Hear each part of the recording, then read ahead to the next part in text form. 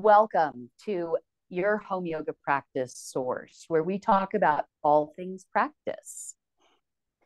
You might wonder what practice means, and it's really the process of making something your own, taking it home and struggling with it and enjoying with it, and then joining back into a group. And today, I get to talk to Tiani Perkins, known as the Wild Hypno Lady, who is a certified hypnotherapist and women's confidence expert.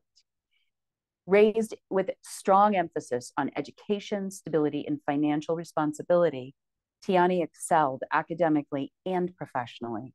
She graduated in the top 10% of her class from a prestigious liberal arts college, as was a member of five honor societies, lived abroad in several countries, and became fluent in Spanish, secured a high paying job with excellent benefits, all while maintaining a near perfect credit score. Despite her outward success, Tiani felt miserable and empty inside. She was plagued by self doubt, insecurities, and a constant fear of both failure and success. Who can't identify with that? Her demanding lifestyle left her feeling disconnected from her loved ones and trapped in an endless pursuit of achievement.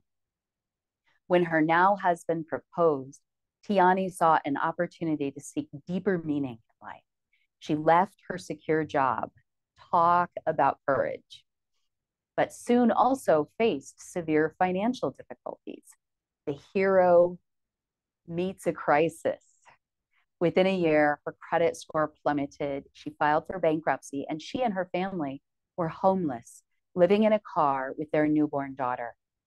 Tiani felt hopeless, ashamed, and struggled more than ever, feeling no closer to fulfillment despite her hard work. At her breaking point, Tiani decided to invest all of her energy into discovering the secret to a truly joyful and fulfilling life. Without self confidence, sorry, she realized that ultimate self confidence was at the heart of true happiness. Without self confidence and self trust, she found it impossible to create a life of true happiness, abundance, and ease. Today, Tiani has transformed her life once again. She no longer faces homelessness or hopelessness, but instead experiences immense joy and abundance. She's achieved her dream career, lives in a beautiful home with her family, and resides in a wonderful neighborhood. She wakes up excited about life and goes to sleep feeling fulfilled and at peace. As the Wild Hypno Lady, Tiani now supports high achieving women worldwide. She helps them eliminate subconscious confidence blocks, chronic self doubt, and perfectionism. Oh, the bugaboo of perfectionism. By doing so, she enables them to achieve unshakable confidence in both their professional and personal lives, unlocking a life full, unlocking a life full of excitement and joy. Welcome, Tiani. Thank you so much, Christine. Oh my gosh. I love it so much. And I'm so excited to be here with you. Thank you. You're so welcome. We've uh we've been talking now for a couple of weeks and um, I'm so impressed with your uh, your your transparency and your embrace of the of and ownership of your story. And I'm fascinated about the role that practice plays in your personal as well as your pro- professional life. Have you always had some form of a spiritual practice or a physical practice? Oh man, that's a really great question. And the answer is absolutely not. Um, I did not have that. And, you know, probably led to a lot of those insecurities and not feeling mm. whole and and doubting and, and not fulfillment that I was experiencing for all those years, right? Chasing like the next thing, the next achievement, and feeling like I just wasn't there because I did not have a, a practice of any sorts. I didn't exercise. I wasn't, I didn't, I don't really care what I ate. It was like, it was just. You were focused, it sounds like, on school. Yeah. Yeah. Academics and career, all that stuff, right? Yes. Yeah. So no, to answer your question, I didn't, I did not, did not have that. And and so you you went from great outward success to love which is a form of form of great internal success with not outward success And Right. you have now found a life where you have an internal success that anybody can see from the glow. Yeah, that's a great wow, that's beautiful how you put that. Thank you. Yeah. I mean, it's true, right? Um, I had it was like a seesaw. I went from here to there, and then I found the balance in the in between. And what I would say catapulted that was my practice.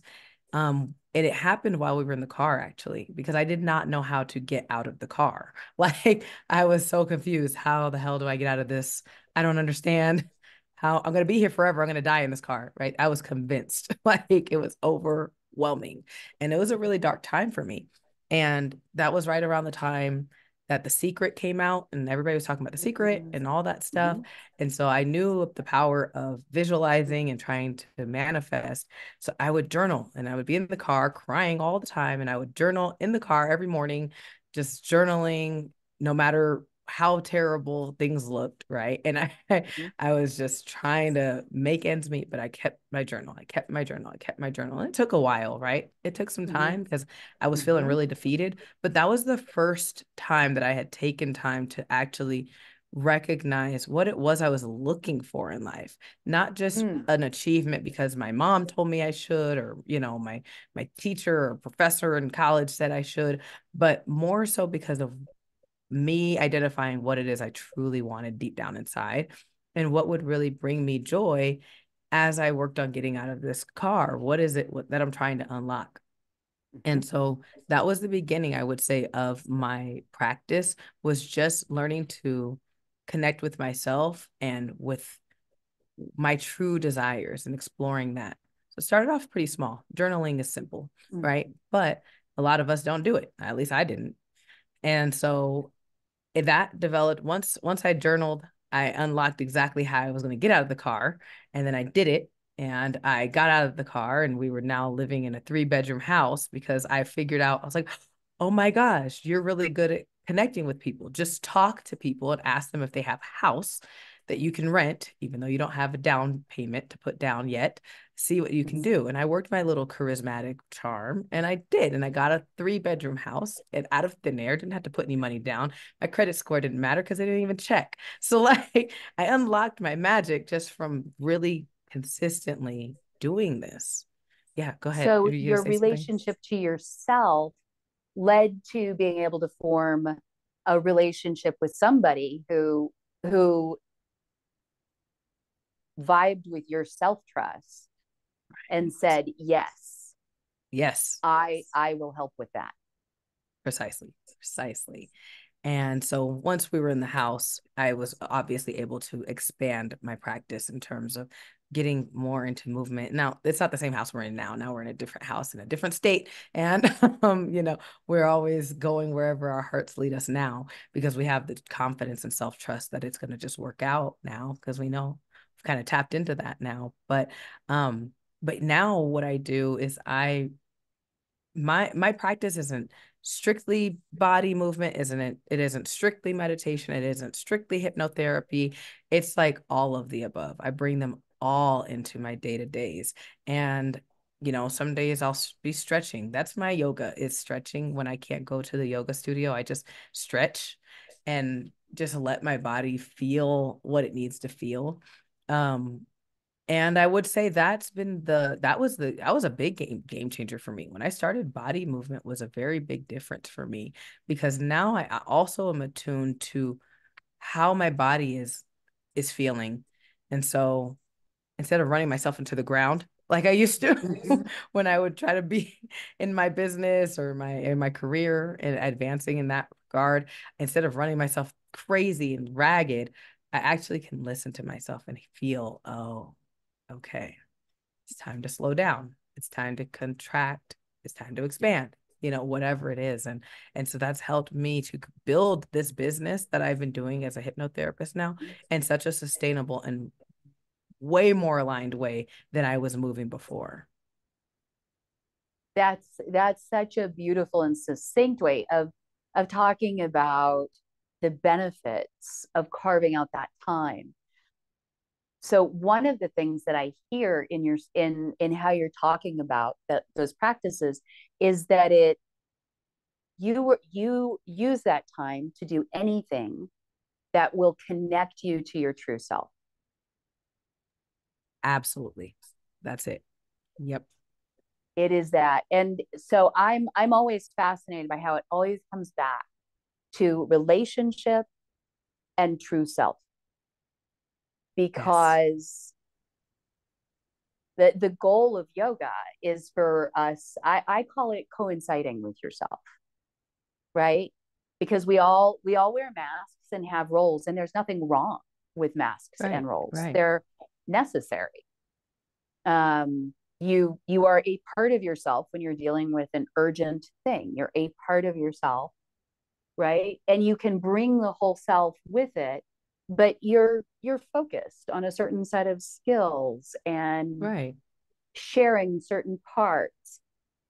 And there's a time in it sounds like your day these days where you connect and try to expand into the whole self and really feel it Absolutely. That is such a you're really good at at conveying what I'm saying in such a beautiful way. Like absolutely though. That is exactly just the way you're saying it. It's like, man, yeah, that's that's what it is. And I appreciate that because that is, you know, what I'm hoping to achieve when I'm taking time to realign and listen and and connect with self and connect with source, right? Absolutely however a person thinks of that. Yeah. and okay so you said something i think is really interesting there. That's at least what i'm attempting to do.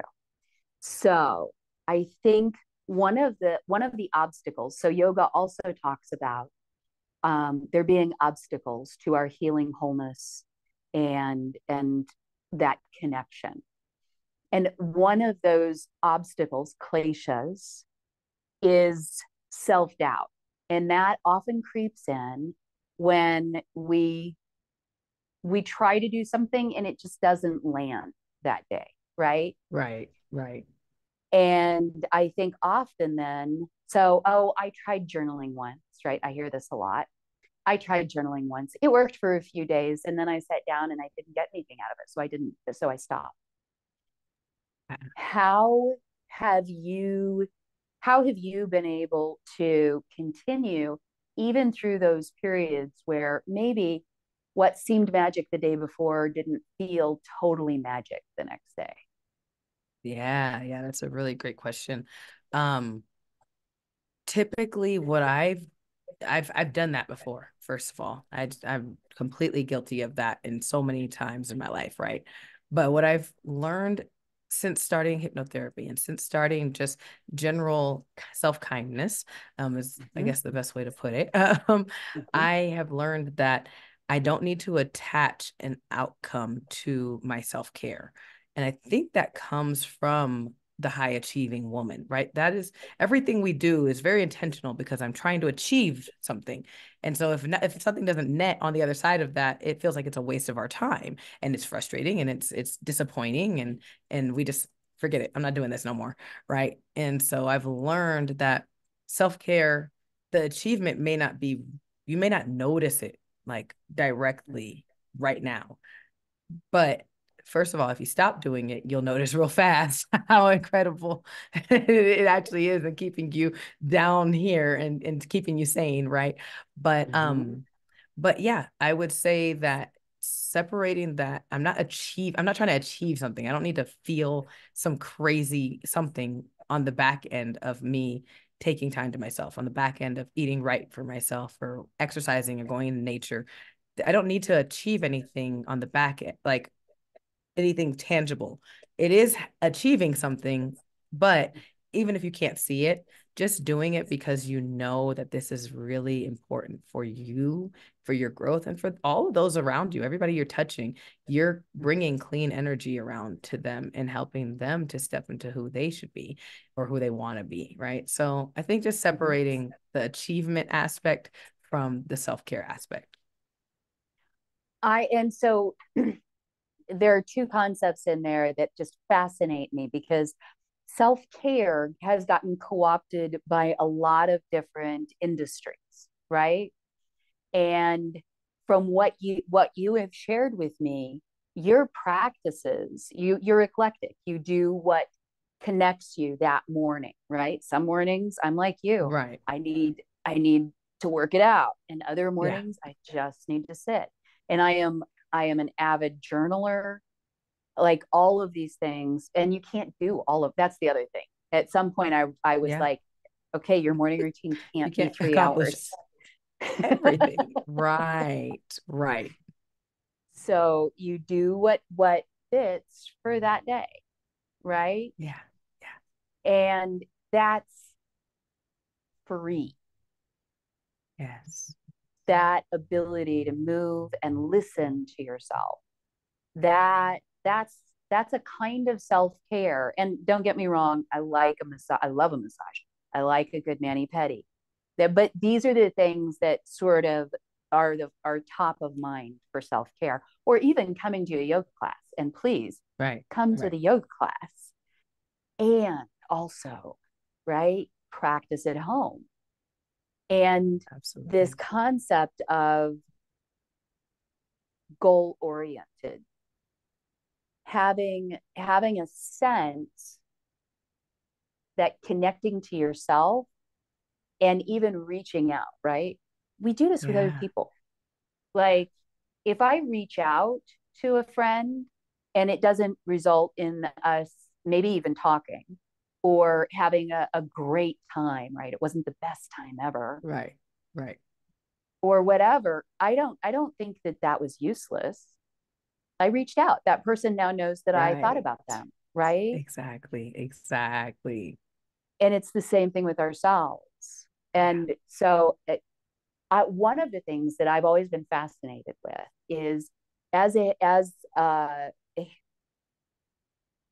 a professional um, hypnotist is that is that yeah. the right word? I'm sorry, I'm struggling. Yeah, I'm this. I'm certified in both. So yeah, hypnotist, yes. hypnotherapist. Yeah, hypnotherapist. That's it. That's the word I was looking for. Yeah, yeah. Um, as a certified hypnotherapist, it while you were learning that, were there practices that you un, that you undertook every morning for a period of time or every day? Um, to be completely honest, no uh hypnosis was probably the the number one thing that I was doing, but I didn't do it even on a daily basis. And I'm only sharing that transparency for everybody to know that like if you're if you don't do it every day, you don't have to give up on it completely. Okay.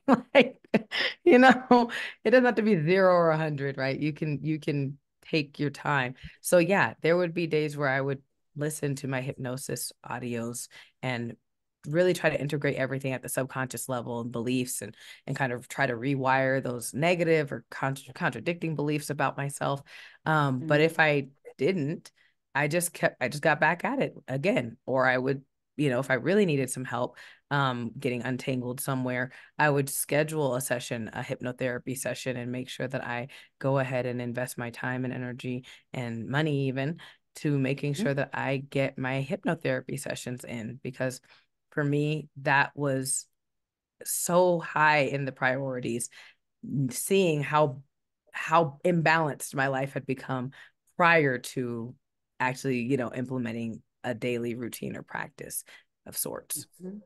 Yes. So it sounds to me like you're the one of one way of describing what hypnotherapy has helped you and helped you to help other people find is to know themselves better, that it helped you know who you were better. Yeah. And you are interested in helping other people, not telling them who they are, but helping them find that. Yes, absolutely. Yeah. I mean, we're all born that way, right? We're all born, and I, I I'm upset because I have to get out of here, but um, we're we're all born with complete confidence. You know, baby does not come thinking its thighs are too big, it's got these rolls and all that stuff. No matter how much they can poop on themselves, they are still happy as crap, right? That is how we are. Like that's how we're mm-hmm. born. We're born with that unshakable confidence. They get up, they want to walk, they just decide I'm going to walk today, and then they just decide it and they take those steps no matter how many times they fall they don't question themselves or think they're stupid mm. or they can't do it. That that's that's ridiculous. That's not how we were born. And so what i do in my practice and as a practice myself is help people return back to that. That is our natural blueprint. And all the stuff we've got all these self-doubts and insecurities and and questioning of ourself only came as like subconscious protectors, right? To protect us mm. from different things in life. And that's great and all, but we don't need them anymore, right? That was for when we were young. We didn't know how to navigate the world. Now we're we're more empowered. We we're intelligent. We have so many mm. different tools on our side. So now we can let go of that and go back to that original blueprint that we were created as. And that's what I do at the subconscious level. That's remarkable um, self knowledge is really um, the goal of all human life, in my opinion. Um, so I I'm excited to be hosting your upcoming workshop at the studio. That's June 1st of 2024. If you're if you're watching this later, you can still connect with Tiani uh, by applying for a free ultimate confidence breakthrough call and the the url will be below this video. Absolutely. Tiani perkins wild hypno lady. Um, i am honored to to uh, be a colleague of yours and to be hosting you at the the studio here in albuquerque. Um, and i look forward to more conversations about practice and self-knowledge Oh, Christine, thank you so much. I'm so thrilled. Oh my gosh. We're going to help so many women just mm. bringing awareness to what's possible for them. And the workshop's going to be super fun. So I'm very stoked. And, and I'm excited for the magic we're about to make. Me too. Me too. Uh, we've talked a lot about hypnotherapy. Maybe that, maybe we should just very quickly drop in. In the workshop, there won't be hypnotherapy, that there will oh, be yeah skills and actionable things that you you the viewer can do to to bust through your self-doubt yes thank you very much yeah absolutely absolutely Thank you All so right. much, Christine. I look forward to chatting with you again. And hello and, and welcome to mm-hmm. everybody. I appreciate it. Have an awesome rest of the weekend and happy, happy yoga union day. Thank you very much. Take care.